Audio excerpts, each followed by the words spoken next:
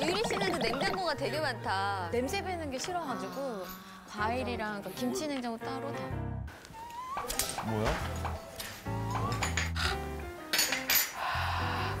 뭐야 또 부키.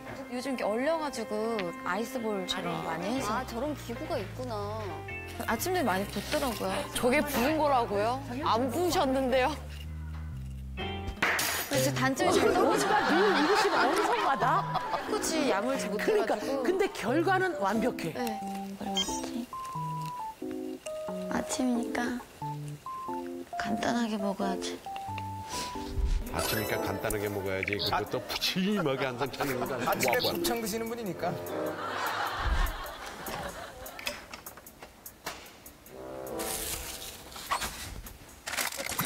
뭐, 오징어 같은데? 홍어 아니에요? 홍어? 설마 홍어를 먹겠니? 오징어다 오징어. 뭐야? 조금만 먹어. 간단하게 먹겠다더니 뭐지? 아침이라 아침이라도 움직거 어떻게 해? 아침이라도 움직거 어떻게 해? 지금 맞고요. 워낙에 많아. 더부룩하잖아요. 그래도 그렇지. 나도 저렇게는 안 해. 미리 삶아서 이렇게 놓으면 좀 간단하게 먹을 수 있어. 이 칼집을 내야 이게 바삭바삭해지거든. 개인화로 너무 귀엽다. 너무 예뻐. 요새 같을 때 그 캠핑 필요 없어요, 집에서. 아침에 돼- 돼지 껍데기로 문을 여네. 또 필요 없고. 너무 맛있는 음식 먹으면 이렇게 흥얼흥얼 되게 되는데. 그죠? 그 막 브런치 같은 거 먹을 때 이승철 선배님 노래 들으면 되게 좋아요. 되게 딱 어울려. 살살 잘하네. 아 요즘 신곡 그, 그, 그 신곡 좀 한번 예. 저희가 들어보고 어떤 음식이 어울릴지 역으로 맞춰볼게요 한번. 내가 많이 사랑해요. 그 누구도 필요 없죠. 그저 나를 바라봐준 그댄 나의 선물이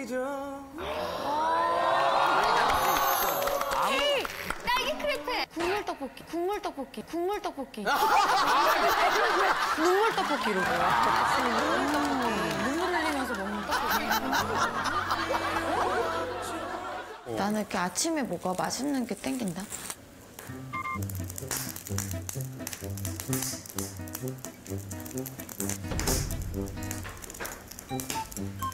이야.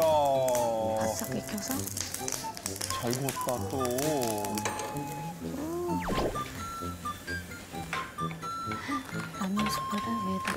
위에다가 전또 뭐야? 전또 뭐야? 라면 스프를 위에다가 라면 대용량 라면 스프잖아.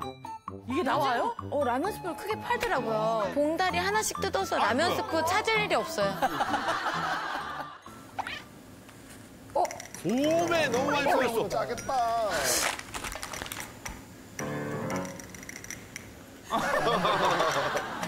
오, 라면 껍데기 아니야? 아 이런 거 또 구워요? 네 위에 살짝 올려서 와 야. 맛있다. 먹어볼까? 우아하게. 양념된 건 좀 파는 것 같은데. 식감 정말 좋겠다. 그죠? 저 식감. 완전 그 훈제구이였지. 야, 근데 진짜 맛있겠다. 어 구워 먹었을 때 쫀득쫀득. 언니 그 침돌죠?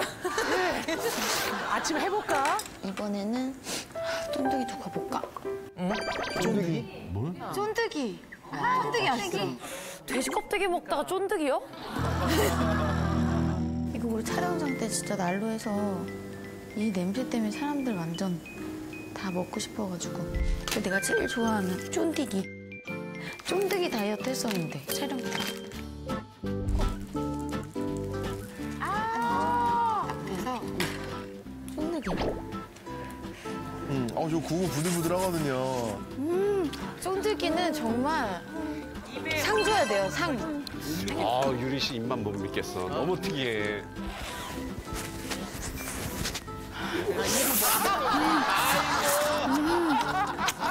차원 아니에요? 되게 스튜디오 보고 되게 샘내 하시겠지? 아우, 얄미워. 아 스튜디오에서 우리 약 올리려고? 음, 맛있어. 음. 라면 스프에 찍어볼까? 야 특이하기는 진짜.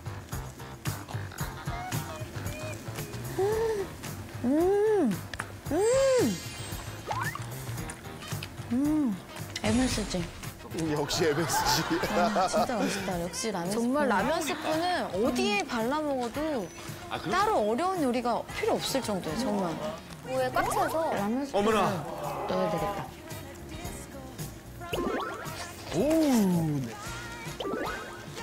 어머 어머 어머. 실컷 붓기 빼놨더니.